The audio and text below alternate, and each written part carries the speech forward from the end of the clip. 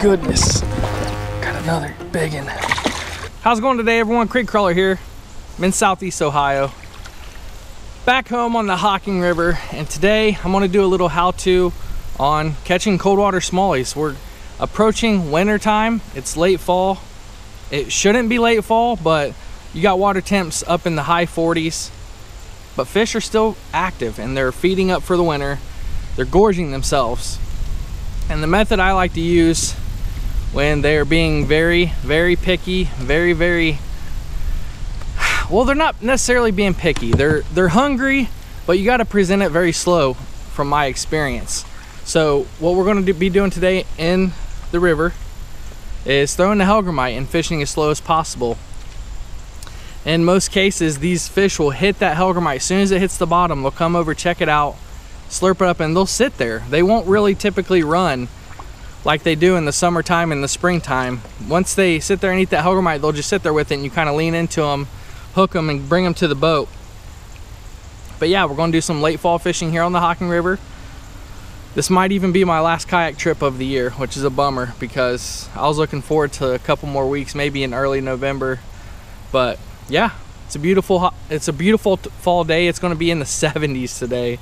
I don't think we're going to get any warm days like this the rest of the year, so going to take advantage of it, doing a float here on the Hocking River. Stay tuned for the action. Let's see if we can't catch a fish today, guys. Let's go. All right, let's go over the gear I'll be using. I got my 610 medium extra fast evergreen combat stick paired up with 2500 Daiwa Kage spooled up in 10 pound braid and I'm kind of going to a heavier leader I got a 12 pound fluorocarbon leader tied up to my obsidian hellgrammite on the VMC rugby EWG jig head awesome eighth ounce dragging it slow the Hocking River isn't terribly fast where I'm fishing the current but the key is just fishing slow.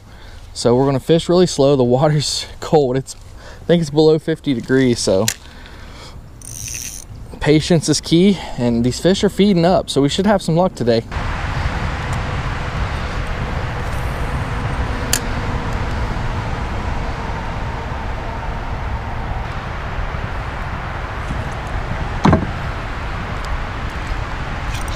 there we go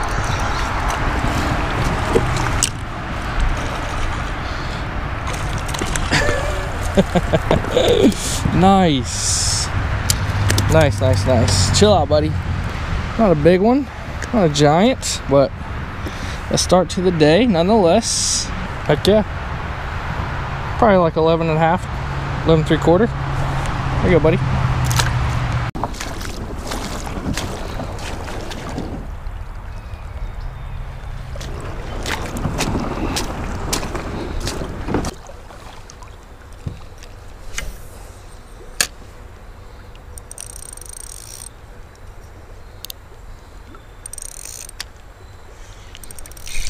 There we go. That feels like a good fish. Jeez, he's pulling me all over the river. nice smallmouth, nice smallmouth. Oh my goodness. About to go into a tree. Freaking chunk just drifting it through this riffle right here. Wow. That is a beast. Check out the, that football. Look at the belly on that. That right there is an awesome, awesome fish. They're an obsidian hellgrammite. I literally just let it sit there. You seen it. I just didn't even move it. And I just reeled down and the fish was on. What a bruiser, man. That fish is every bit of a pound and a half. Here you go, buddy. They're pretty cold. But they're still biting.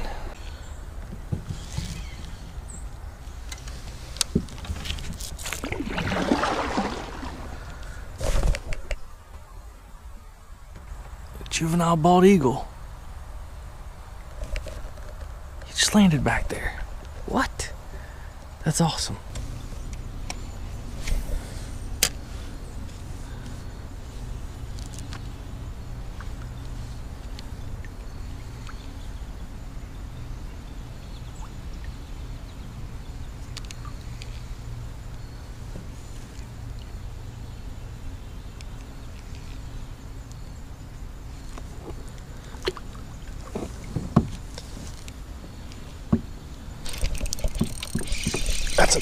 Nice fish.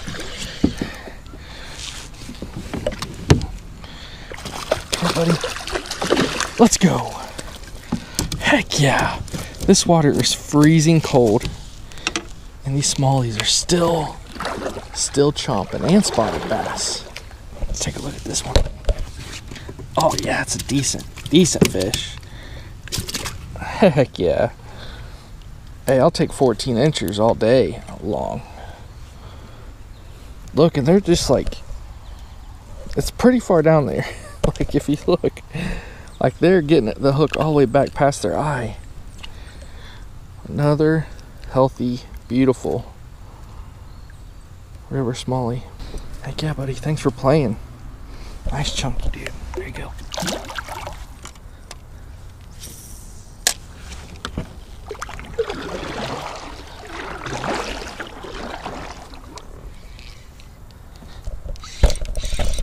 There we go.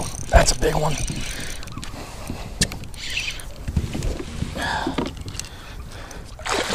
Oh my goodness. I just got a freaking giant.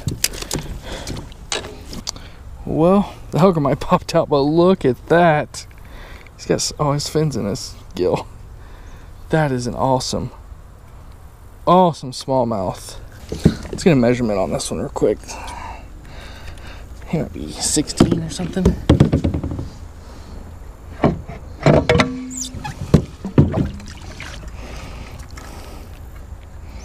Yeah. Awesome fish. Got 16 and a half incher. I'll take this all day long. What a bruiser, man. Thanks for the fight, buddy. There he goes. Let's freaking go. Just drifting this hellgrammite. I'm being so slow and so like I don't know what to call it. But I'm just kind of casting it and just letting it sit down on the bottom. And they're coming up and eating it and like I'll reel down and there'll be pressure. You just lay the hook into them and they got it halfway down their throat. Heck yeah, let's keep it going. I also want to give a huge shout out to Joe for making me this awesome logo. Got some stickers made up. I might be uh, selling them here soon once I get everything set up, but comment down below if you'd be interested in some creek crawler stickers for your kayaks. Those are awesome stickers I got made. They're waterproof. They stick on your kayak and last forever. So if you'd like any any uh, creek crawler stickers, just comment down below and I'll see if I can set something up.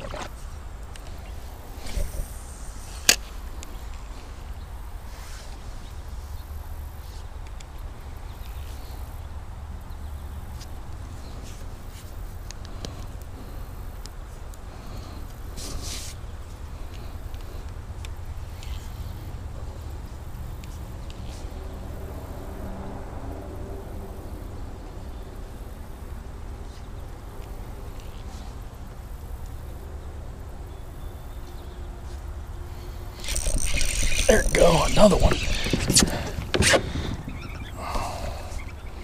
It's another good, decent fish too. Man, they're just choking this thing. Just oh, played too much with him. Played too much with him. He looked like a 13, 14 incher. Man, these fish are biting, but you gotta fish very slow. And if you've noticed throughout this video, I've been casting my hellgrammite down. I'll set it, I'll just let it sit on the bottom. I'll make a couple strokes upstream, paddling, or I'll be messing with my with my uh, drag, and they're going to they're picking it up as it's just sitting there.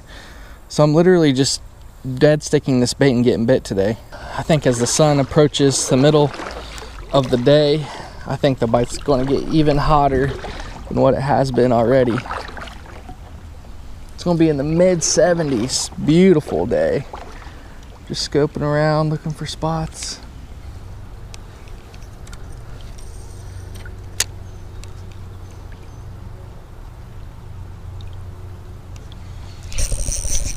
Oh my goodness.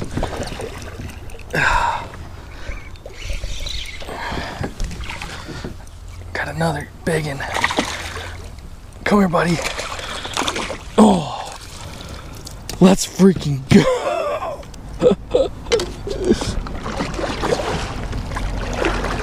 This is a nice fish.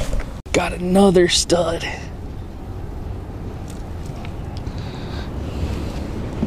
Check that out. That is an awesome Hocking River Smalley right there. Look at the scenery. Can't get much better than that. Let's measure this one up, see how big he is. He'll probably be, let's see. He's very tall.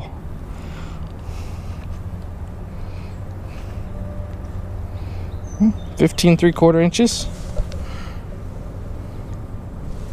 Almost 16 incher.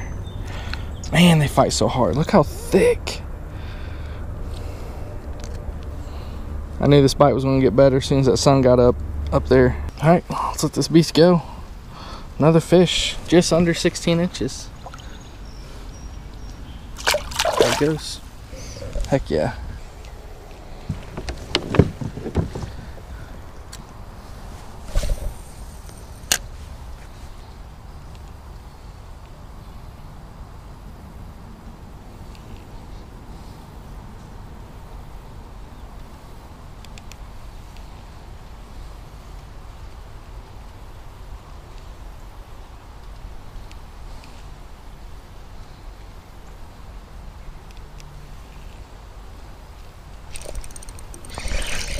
There we go.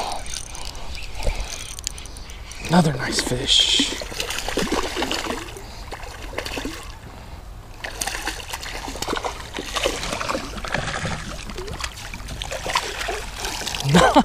nice.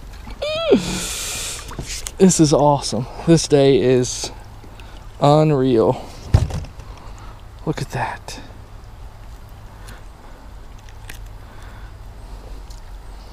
That's a 14. All day. Thanks for the fight, buddy. All right, so what I'm doing here is I'm standing up and finding these deeper pockets with some structure. Like there's some railroad ties it looks like, like an old bridge used to be here, but it's really deep and I've pulled three fish out of this little hole and I pulled that bigger fish just upstream of that. So this entire spot right here is just, it looks to be about four and a half, five feet deep. And yeah, that's was the ticket for this hellgrammite. Just letting it sit down there, drifting it really slow. So look for the deeper pockets and just concentrate your energy on the deeper areas, the high percentage areas.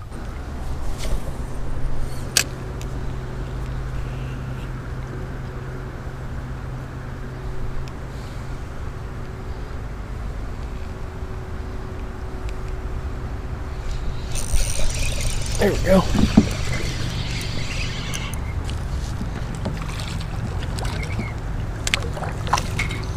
Oh.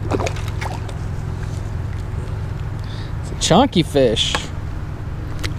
Oh.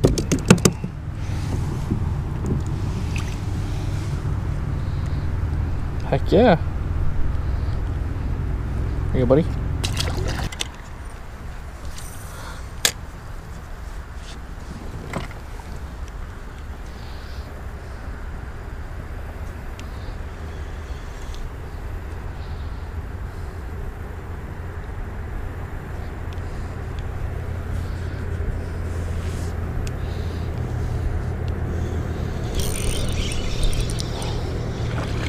What the heck? Dude, this is a giant, big old crappie. What?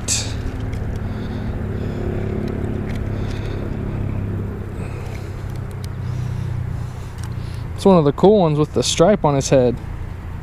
That's pretty cool. All right, we're going to end it here on the Hocking River in the fall. Water temps just below 50 degrees and we absolutely put the work on them today. It was incredible. It was incredible. As soon as the sun came out and the water warmed up just a tad bit, those fish really got moving and I started like hammering fish. Like they were stacked up in some of these areas on the river. It was just an incredible day. An awesome fall fishing day. And this is what the fall is all about. You can go out and absolutely get into some amazing, amazing fish. And the key points to take away is find some deep deep holes. Find some cover around those deep areas because that's where those fish are going to relate to, especially just kind of hanging out near the bottom because that's what they're doing. They're just kind of laying dormant. They're letting that current flow by them and they're just kind of picking stuff off as it goes downstream. And they're not putting a lot of effort into it. And if you've noticed in most of my catches today, I would cast my Hellgrammite into a high percentage area, let it sit there, play with my drag, do something, and just kind of let it sit there. And then as soon as I would reel down to my Hellgrammite, a smallmouth had picked it up and I would hook set it, just kind of lean into them and bringing some awesome fish on the kayak today. And this is probably one of the last kayak fishing days of the year. To be honest, I don't see any safe weather coming up forward. My last float of the year. And you couldn't ask for much more. Coming down to the Hocking River and hammering some absolute bruiser smallies. Man, they were putting on the feed bag and put up some awesome fights. Awesome fights. Couldn't ask for much more. Before I leave today, I want to thank everybody for supporting my channel, supporting me and my YouTube adventures. I do this for fun. It's a hobby. I enjoy doing it. I love teaching people and I hope that I put some content out on my channel this year that helped you all get into some awesome fish because it was a fantastic year for me. I absolutely had a blast this year and I'm looking forward to next. And I'll, I'll be going to all the fishing expos this year for sure. I look forward to the expos going out and seeing all, all kinds of gear supporting local companies.